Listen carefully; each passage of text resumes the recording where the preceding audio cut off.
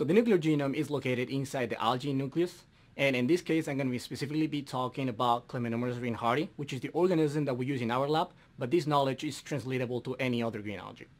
So the nuclear genome is roughly 120 million base pairs, and just so you have an idea how big that is, uh, the typical bacterial genome is about 3 to 6 million base pairs, and the human one is about 3,000 million base pairs. So it's somehow in between. And even though we have other genomes inside the cell, so we have one genome inside the mitochondria and we have another genome inside the chloroplast, the nuclear genome comprises over 99% of genes in the algae. So if you want to change something like the metabolism, you definitely need to change the genome inside the nucleus. This genome is haploid. It means that it's present in only a single copy as opposed to other organisms like humans. So for example, in humans, we have uh, our genome copied uh, two times called diploid. So you will need to change, uh, if you change the genome, you need to change it in both copies to look the same. And we don't have to do that because it's haploid. Another characteristic is that it's transformable, which means that we can change it. We can add or subtract genes as we wish. So that's very useful for us and thus the genetic engineering. So one very important concept is that when you're going to engineer uh, a gene inside the, uh, the chlamyd, you need to prepare that structure to look as best as possible. So there are two big, uh, big important parts in the gene structure. So one, it's the regulatory sequence, and that those are the sequences that are going to determine how strongly and how often is your gene going to be activated. And the other part is the coding sequence, which is going to determine the amino acid sequence. So the genome, uh, the gene is uh, a DNA sequence. And then that DNA sequence has one very important part in terms of regulatory sequence, which is the promoter. So the promoter is going to determine how strong your gene is going to be translated into mRNA, which is a copy that is made of the DNA, and how often that happens. Now, when you have that mRNA, it has two other regulatory sequences, which, has, which are the 5' UTR and the 3' UTR, which stands for untranslated region. Those two parts are going to determine how stable is that molecule and also how often it becomes translated into protein by the ribosome. So now you have to choose your best uh, regulatory sequences, which are the promoters and the 3, 3' and 5' UTRs. But additionally, you also have to choose the best uh, coding sequence. And this coding sequence will uh, depend on what is your final amino acid sequence. So most likely you will just be mimicking a naturally occurring protein, like for example, a human antibody or insulin. So you already have a amino acid sequence of interest. However, sometimes you may want to change a couple of amino acids to enhance its function, make it stronger, or you may just want to fuse it to another protein to give it an additional function.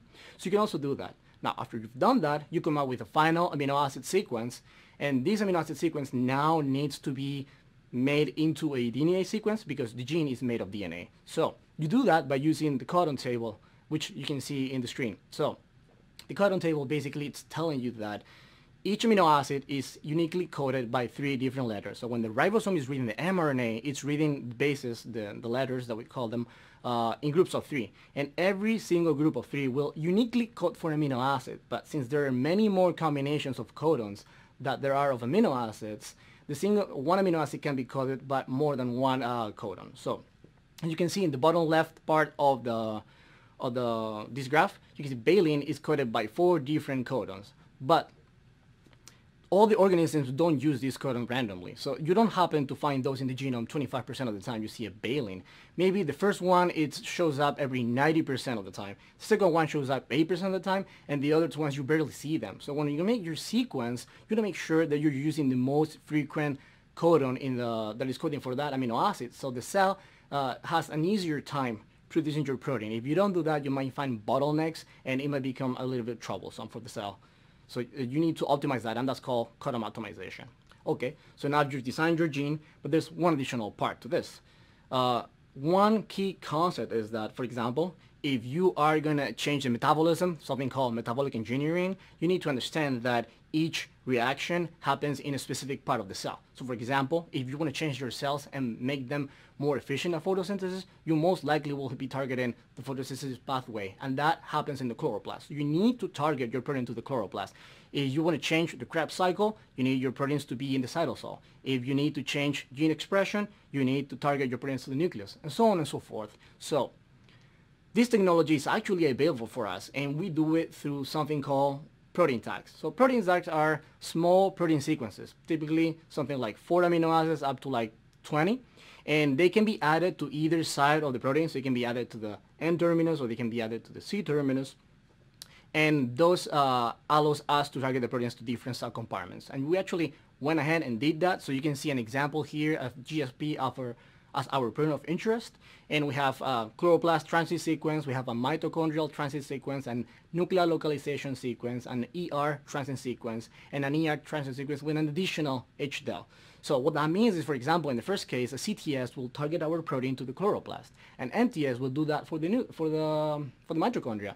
Uh, another uh, special example of this is the ER transcription uh, signal will target our protein to the ER, but then if you don't do anything else, this protein will follow its secretory pathway and will secrete to the extracellular medium, which is something very important for us. But if you want this protein to stay in the ER, you need to add this HDEL extra sequence. And as you can, you can see in these uh, fluorescent pictures, in the top four, uh, the top four pictures, in the top row, you can see that we did that for the nucleus, and you can see the fluorescent protein was targeted inside the nucleus uniquely. We did it for the mitochondria, we did it for the chloroplast, and we did it for the ER. So it's something it's available for us to do. So I also mentioned that you can secrete your proteins, and that is very important because the way that these proteins are being secreted is first you have the mRNA being transcribed inside the nucleus. This mRNA goes to the cytosol where the ribosome is going to read it and it's going to make a protein. That protein will be translocated inside the ER. And from here, it will travel to the Golgi through vesicles. And then through the Golgi, it will be secreted to the extracellular media through vesicles again. Now, while this protein is traveling through the ER and the Golgi, it will be modified. And one of the most important modifications is glycosylation. Now, glycosylation is nothing other than the addition of specific sugars in a specific pattern to certain parts of the protein that are known.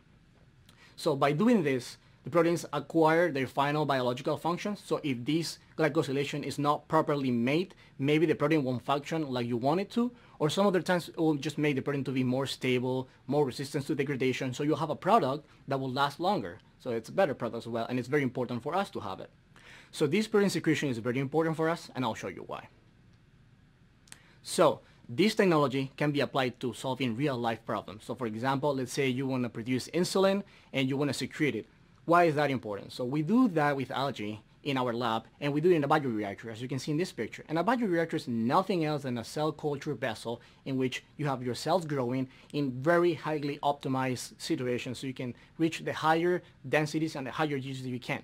That's very important for us because generally speaking, a higher final biomass will translate into a higher final product yield. So what's important that we're secreting our proteins? Well, one thing that you need to understand is that most of the proteins are inside the green algae.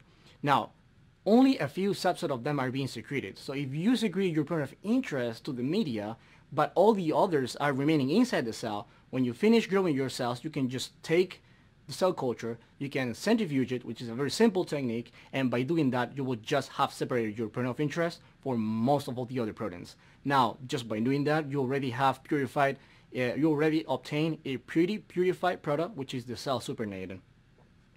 And by doing that, we can make different products, and it's something very important for us. Okay, so finally, uh, future opportunities and challenges. So in order for this technology to finally be competitive, to go that extra step that we needed to go, we need to develop more powerful and precise genetic tools, and that means we need to improve our capacity to precisely target our genes inside the genome to have them land exactly where we want to and to be able to subtract exactly the the genes that we are not interested in having inside the cell. And that's called targeted gene integration.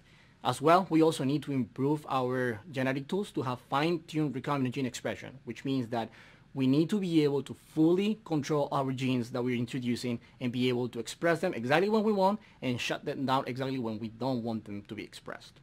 Finally, we also need to improve and implement high-yield cultivation techniques in bioreactors because any improvement in biomass that you can get in a bioreactor will directly translate in an improvement of your protein that you're making through genetic engineering in the nucleus.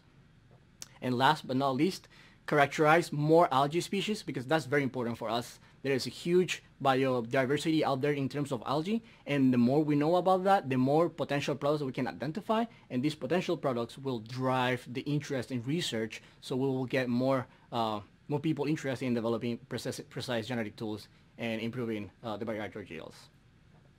And that's all. Uh, thank you very much for watching.